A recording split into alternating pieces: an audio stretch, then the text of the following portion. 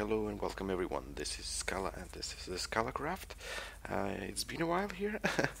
uh, yeah, actually it's been almost two years to be honest. And well, here I am, back with another game uh, of, uh, of StarCraft 2. Yeah, Legacy of the Void. And uh, well, since nobody sent me any replays, for a while at least, uh, what I'm gonna do. I'm just gonna stream one of my games. Um, yeah, so let's start with introducing here on the map of uh, Ulrena. On the bottom left corner, playing with the blue Terran, it's a player named Modano.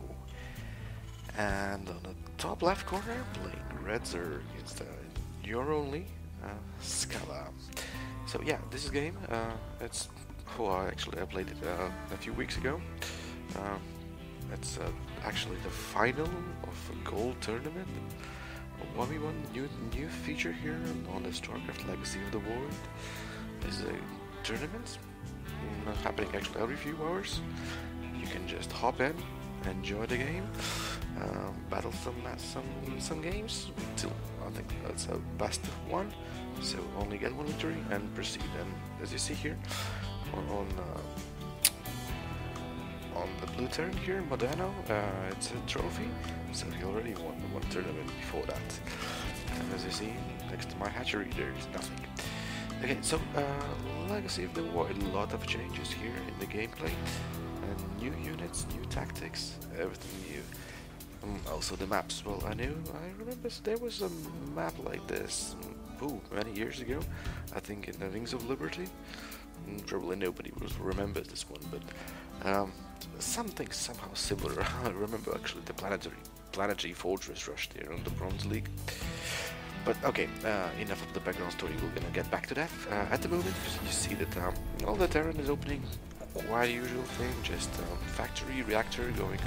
Sorry, barracks reactor going for factory. So um, probably double Hellion attack versus versus uh, Zerg. Uh, Mech is actually quite strong, and uh, if I'm not mistaken, uh, I I checked the the Modano build order before the game, and I noticed he's he's really playing. Well, he's actually really love to play mech. Okay, so just mm, just some fast scouting a little bit here. Overall placement may, might be better. Uh, fast expansion. Oh, what I do, I always love love to put out some Zerglings here, playing against against the Terran. Yeah, early scouting does the trick, but you never know. If you see the barracks at reactor, and in this case he's putting out some of the marines, and not moving the factory and the barracks, and that's changing into places.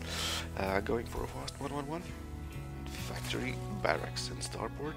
Uh, what I'm gonna do is, phew, I'm playing old school, just uh, spawning pool with, uh, with the speed, Baneling's nest, just gathering some gas, um, expansion, and building up some lings.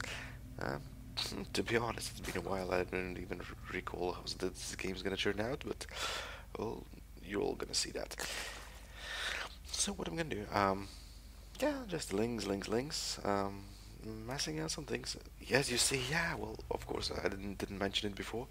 Um, lot of changes here in Legacy of the Void. The, mineral patches get became, if I'm not mistaken, uh, fewer mineral patches.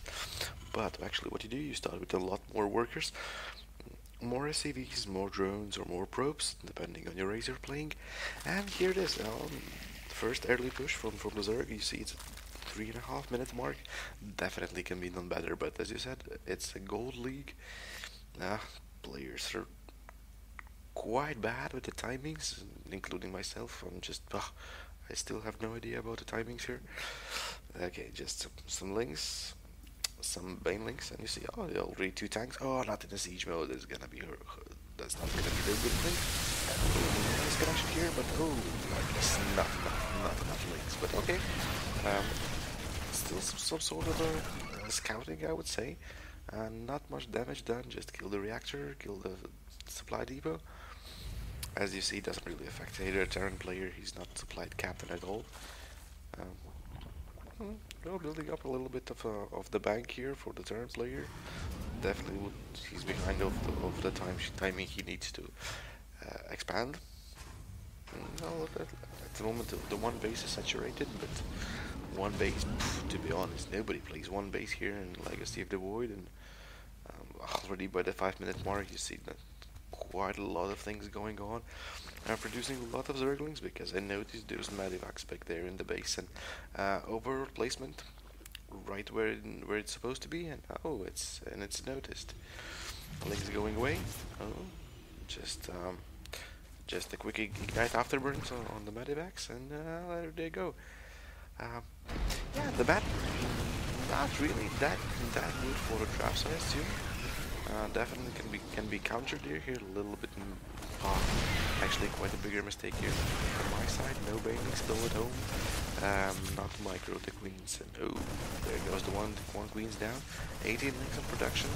Few, few banelings there. Probably gonna second queen's gonna die as well. No. Um, managed to pull it away. And then those tanks, yeah, not the best position here.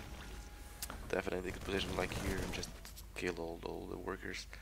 Uh, would be quite a blow for economy. Oh, for queen. Oh, uh, dead.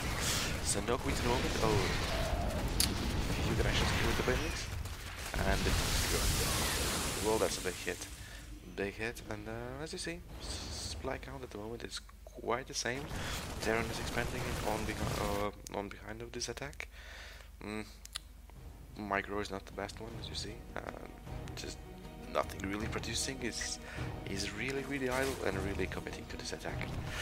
Uh, meanwhile, yeah, the, the Zerglayer and me not really doing much as well. Uh, making a lot of lings and now going for a counter attack.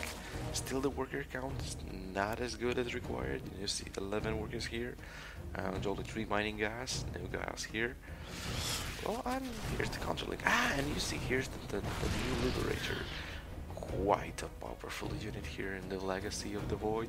It's very annoying. I wouldn't even say super annoying. Does a lot of damage and but yeah, well, if you position it, it, it correctly, well, maybe this is not the best position. Uh, still lacking a lot of lot of micro here because if you just need it to the link, but you able to kill all the lings, all the bane links here. Um, yeah, so see what the tank placement be better. But that's the thing here with the Gold League. There's so much mistakes and so much things to improve, and uh, well, one of the best options here best things to improve is just watch your own replays, do some quick analysis. Uh, analysis. oh my god, um, it's getting quite late here. And, um, getting a little bit tired. It was been a long day. Still, I was uh, I was so excited to do another video after a long, long, long time, and here I am. So yeah, um, you check your own videos, your own replays, and you, you take care of your you take a look at your mistakes of your your things, and well, you improve. You know, and just just adjust your placement of the units, uh, of the timings and everything. So at the moment you see the 8 minutes mark, I'm already going for the third base, and it's not really actually already. It's been quite a late, and definitely been should should be done should be done better, should be done faster. Well, can't say anything about uh, the Terran player. Well, quite turtling back in the base um, making some Thors, making some hell hellbats, and definitely going for a mech, and especially now with the Liberators, uh, mech is ultra strong. Well, maybe not ultra, of course, but um, it's been definitely been getting stronger than before. Uh, also, one of my weak sides is uh, I think uh, I'm not really that great playing against mech. Uh, in this case, the Terran player was going for the Bio mech mix-up in the beginning. Uh, no early Hellion push would, could be could be really really effective. So seeing just uh, the usual minor unit placement, and I'm starting to work on my creep spread. The things I oh, oh, always fall a little bit in behind and uh, need to focus more. Okay, so what we see now is uh, I'm going for the mm, well laying roach mix mix of the of the army. Uh, while Terran is going heavily for the mech, heavy Thors, few Hellbats, a few tanks, few Liberators, not much Marines.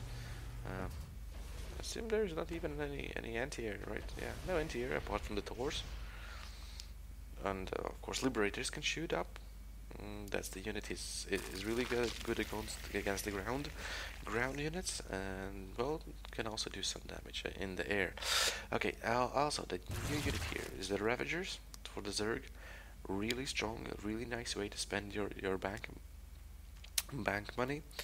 Uh, do quite a good damage mainly playing versus the ground or with ground forces, but if you if you attack the car accordingly, you can kill down the liberators with no problem. Um, see, at the moment, my my supply count is not the best one.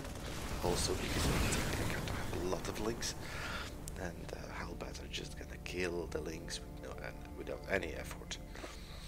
Well, uh, is gonna move out. Probably gonna take a third base. That will be obvious obvious thing to do. Uh, expanding with more factories, uh, doing some upgrades. Mm, what I'm gonna do now, I'm doing in the background is just like only one evolution chamber, one upgrade on the range. Not the best position to be here, to be honest, at 11 minute mark. Just drew base, three bases, not fully associated, with only seven workers, six workers. Eight workers. Oh god it, that's actually not a good economy, but oh god, here's a big engagement here. Oh, inventory is down. As you see, the Ravagers do a lot of damage if you don't move those units away. Uh, almost one kill. Uh, the Hellbat. Oh. Uh, nice concave here and, reinforcements on the way. Also the Spine Crawler, a little bit too late, but it's, it's able to And just now need to take care of the tank. Okay, it looks good, it looks good. All the mech very, very expensive armor you're taking care of. Um, of course, on, on, the background you see that the Desert player is really easy, uh, able to spend all the money, all the savings, while the Terran is, well, he's a little bit behind on that. Uh, as you see, there's only, oh, well, hmm, I wanted to say just a few factories, but it's already four, four factories, one armory constantly working on upgrades uh, starport not really doing anything and the barracks is idle as way. Um, as you see from the Terrans player only two two shortcuts just one one for orbital and one for the factories while uh, the Zerg is doing actually not really good as well you know just uh, the factories and the queens for injections definitely better and now the Zerg is doing some some upgrades here as well um, yeah well need to work on, on, on the on some harassment. I, I thought there was a there was a spire. Did I missed it? Oh, I guess no. Um, just a really, really, really small group of units here, and uh, well, as you see, that I'm quite behind here in the supply. Oh, while Terran is playing really defensively, and actually, there's two options. If the Terran is taking control of the map here, making sure I'm not expanding to any of other of the base locations. You should be able to do just fine by in the base. Just slowly taking the base and maxing up to 200, 200. And just keep opening up all those upgrades. Or at least I think so. uh, of course, the, just a bunch of Thors against Roach Ravager. A really good position here. Well, it's of course taking care if, if the to the roaches is, is, is small, small. Mm. And yeah, well, I'm obviously overdoing it, just producing roaches over the roaches over roaches. And not enough income here, I assume. And, uh, well, the bank doesn't say it's that bad. Okay, well, those last few engagements were quite good. I managed to do, to cancel the third base and pushing the Terran a little bit more behind and doing some upgrades for the roaches and I'm also finally droning and that's not a bad thing you know just uh, slowly slowly doing the few good exchanges here and securing my position okay gonna be another another plan here in the, center of the map well actually it's a quite strange this, this map will read um, I'm gonna finish it after this this but oh bad move by the Thors here. Yeah, definitely should move those liberators here for the center of the map. Of course, there's a Ravagers, but oh, the liberators will do so much, so much damage. And yeah, about the arena, you see there's only small, small map with two little gaps here, but you can take down the rocks and you open a lot, uh, lot, of, lot of space for attack especially in the mid, mid late game. Well, probably the late game is gonna be taken here as well with the gold bases, but mm, haven't really seen, seen, much players taking taking care of that. And oh, again, nice cancel here of the command center. More roaches are streaming in, constantly attacking, constantly putting the down to the, to the pressure. As you see, he's banking a lot, a lot of minerals. Well, that's not, not really nothing uncommon for gold class players. The macro is slippery, you know, they're not taking full control of the things, and, and well, um, means Zerg is taking control of it, constantly pushing, constantly forcing him to make those mistakes. Just checking it out here, the situation, and you see, he's only have left with the one base. As you said, the minerals in the main is, well, actually, a lot, lot less than it was before, and a lot of SCVs are here mining it just the one base, not much economy, and all that saved up bank is going down. Okay, he's trying to move move some forces forces around, and uh, at least finally moving those liberators for some defense position here in the front. Oh, and then we finally gonna see some corruptors. Corruptors are uh, not the worst thing, but it's a it's a it's a quite a efficient way to take care of the liberators, but definitely not when the Thor's around. Mm. What you need to do is just uh, oh, I think I, I made a good decision here in this type of the game when the Terran player is it's turtling out and he's having only one base available. Uh, already trying to already almost mined out just a few thousand of minerals left. Actually, even less than a thousand. Um, I mean, less than two thousand. Uh, and oh, he's moving out the base. There's the corruptors. They they catch the base and there's gonna be a mutas. Finally, the mutas is gonna take a place, and the, that's another thing. You always want need to have a uh, the spire for a Zerg player because you never know. It's gonna, gonna get could could could be handy. And now you see, the Corruptors are taking care of the Liberators. A big engagement here, not really good for the Zerg player because not enough Ravagers, not enough Roaches. Uh, also pushing some SCVs. This is a shield. Oh, that's quite a big hit here from the Thors. Uh, that's looking a little bit grim. Uh, Mutas are taking care of, of, the command center, but the Zerg army here is devastated, and, and Terran is going for another push. You see, what's scary here is is having one two upgrade here, while there is only one. Um, you might not think the, the plus one armor is, is, is that much for the Thors. Could do a lot of lot of uh, great thing and a good and nice adjustment. Um, because if you if you use those those roaches and uh, all the, with the, all the slow hits, all the armor will gonna do a good thing. Uh, what third army is missing at the moment is definitely tanks, I would say. Uh, of course, there's not not any lings or anything, but just for the ground position, uh, a few background attacks here and there, and again, the position here with the Thors not being able to hit all the time at, at the same time, and always a little bit stuck. And you see the Ravagers are doing a really great job here with those projectiles and massive, massive damage, and, and of course the Hellbat, so nothing really that great against the Roaches and the Ravagers. Um, and oh, here is the GG. Uh, as you see, the Terran player wasn't able to, to push anything, and he mined out the main base, and uh, the main natural and wasn't able to put the second base in time and already Zerg expanded and secured plus the latest last exchange a really big favor in Zerg and here it is here's the the first game of the legacy of the Void sorry for all the mistakes. I've been definitely been really rusty uh, really rusty and really tired today. But yeah uh, from this point onward I'm definitely gonna improve. And uh, thank you for watching the video. Keep following like share and uh, if it's possible, I will be really glad to see any of your replays. So share, just put some information about that, what I can expect seeing in the replay, and I will definitely tune in. So, okay guys, so see you around, and uh, thank you for watching. Bye-bye.